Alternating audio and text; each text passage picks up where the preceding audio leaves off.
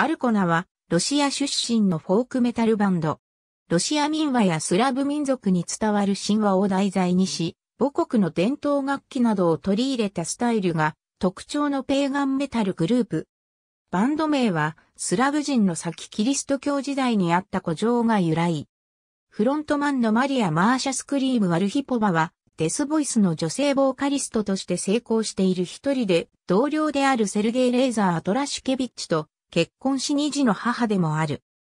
創設者、マーシャスクリーム・ドルゴプレドニのネオペガニズム、同好会で知り合ったマリア・マーシャスクリーム・ワルヒポバとアレクサンドル・ウォーロック・コロヨフが2002年2月にギッペルボレヤというバンドを始め、その後、エブゲーニー・クニャーゼフがギター、エブゲーニー・ボルゾフがベース、オルガ・ロギノバがキーボードで加入しバンド名をアルコナに変更、同年の終わり頃にというデモをモスクワ CDM スタジオにてレコーディングした。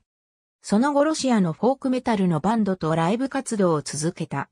しかし、マーシャ以外のバンドメンバーの活動に対する情熱が冷めてしまったため、2003年9月に一度解散。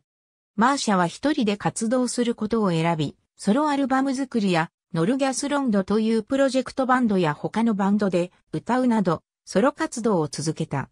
結局同年末に新たに、セルゲイ・レーザーをギターに、ルスラーン・クニャーズイをベースに、ブラド・アーティストをドラマーに迎え、新生、アルコナを結成。2004年3月にファーストアルバム、ゼーをサウンドエイジプロダクションズよりリリースした。また同年の秋には、セカンドアルバムをレコーディングし12月にリリースした。2005年に多様な音楽性を持ったサードアルバムをリリースした。このアルバムには、ロシアの有名な伝統楽器演奏者であるブラジーミル、チェレポブスキーを迎え、ロシアのフォークメタルバンドである、スバーガやアルコナストのメンバーも参加し、同年9月にはロシアにてゴールドディスクを獲得した。10月に行われたアルバムのプレゼンテーションセレモニーで演奏された曲がライブアルバム及び DVD、税として2006年3月にリリースされた。2007年のフォースアルバムでは、再度、ブラジーミル・チェレポブスキーやベラルーシの伝統音楽、合唱団、ゴスティーツァも参加している。このアルバムで、ベルギーのアーティストクリス・バーウィンが、アルバムのアートワークを担当し、その後のアルバムも彼がデザインしている。2008年3月に、ドイツのラグナロックフェスティバルに出演し、ナパームレコードとの契約を獲得。フォースアルバムの A 代、オットスイエルツェケーネブをナパームレコードから再リリースした。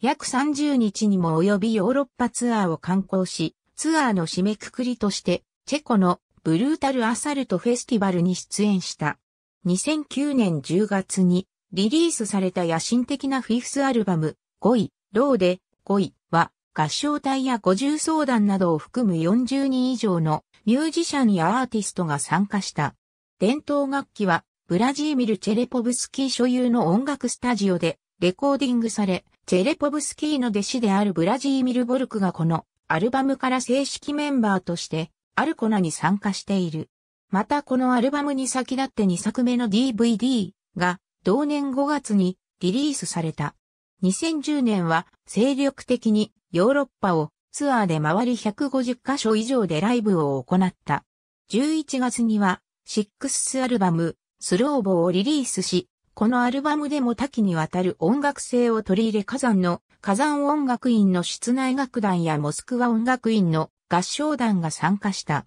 また、フランスのヘルフェスと、ドイツのウィズフルホース、オーストリアのメタルフェストなどの巨大野外、メタルフェスにも出演した。2011年には、カナダ、アメリカ、メキシコを36日間で回るツアーを行った。ダルリアダ及びダーケストエラとのロシア及びヨーロッパツアーにおいて結成10周年記念コンサートをモスクワにて行い、カリブ海でのメタルクルーズフェス7万トンズオブメタルにも参加した。10月にはアメリカでのヘッドライナーのツアー中にレコーディングを行っている。2014年1月にバンドの公式フェイスブックページにてドラムのプラドアーティストソコロフが個人的な理由でバンドを離れることが発表された。過去10年間の活動の中で初めてのメンバーチェンジであり、新しいドラマーとしてアンドレイ・イシュチェンコが加入することになった。また、同年4月にコンセプトアルバム、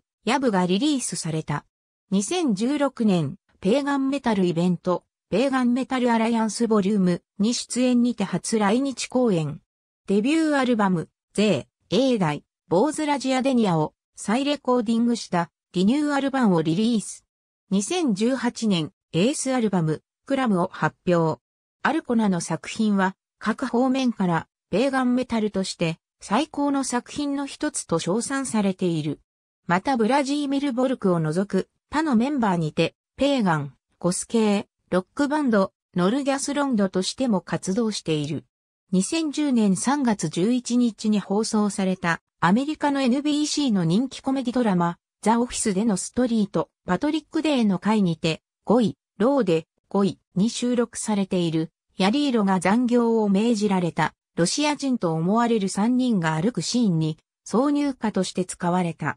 2020年5月時点。ありがとうございます。